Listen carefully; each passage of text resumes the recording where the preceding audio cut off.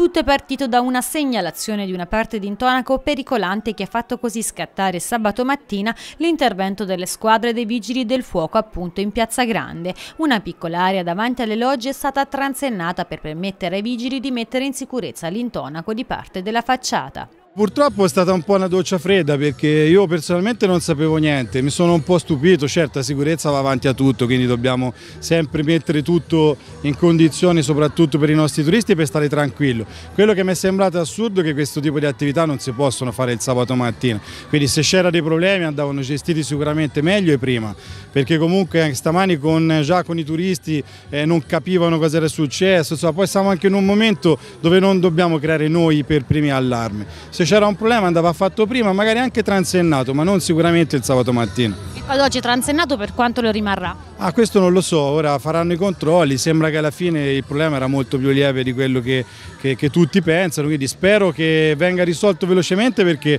non ci possiamo permettere assolutamente sabato prossimo di perdere la fiera, perché con, senza poter mettere i banchi lì noi perdiamo la fiera e questo non è accettabile. Cosa è successo? Ma mm, io so che l'amministratore di condominio ha mandato una lettera dicendo che c'era dei, dei, pezzettini, credo, di cornicione che si staccavano,